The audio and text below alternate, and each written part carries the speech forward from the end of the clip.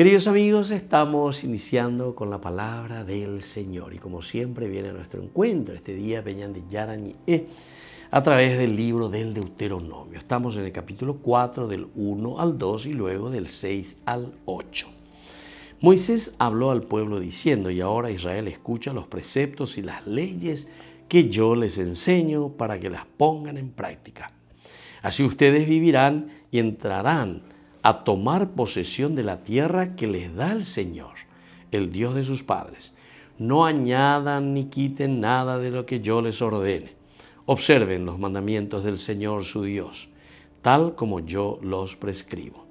Observemos y pongámoslos en práctica, porque así serán sabios y prudentes a los ojos de los pueblos, que al oír todas estas leyes dirán, realmente es un pueblo sabio y prudente esta gran nación. Queridos amigos, y por ahí te coñas en coñan de yarañi lleva. Justamente nos invita a nosotros, Deuteronomo, segunda ley.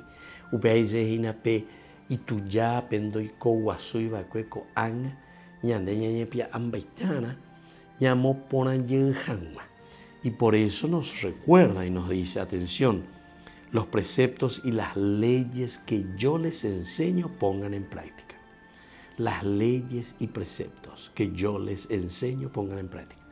Ya llevo peñan de yara, peñan de mombaretea, peñan de yara uibe, yaguero, este, yaguero guatana, pero entendiendo que es justamente la fuerza y la gracia de Dios. Y enseguida el Señor nos pone como objetivo, solamente así.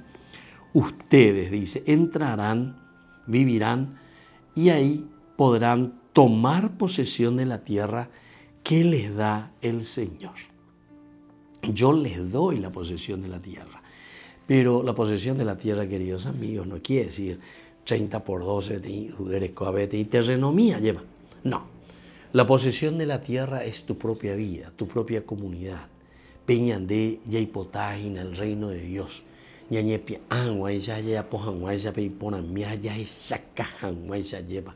Peñan de yara yerurea ñande así ustedes, dice, tomarán posesión de la tierra. Y así todos los pueblos después van a decir, estos sí que son sabios y prudentes, que Dios tan grande esta nación tiene, que les ayuda a ser buenos, a ser honestos, a ser respetuosos y a vivir de acuerdo a los valores del Señor. Que la bendición del Señor descienda sobre cada uno de ustedes el Padre, el Hijo y el Espíritu Santo. Amén.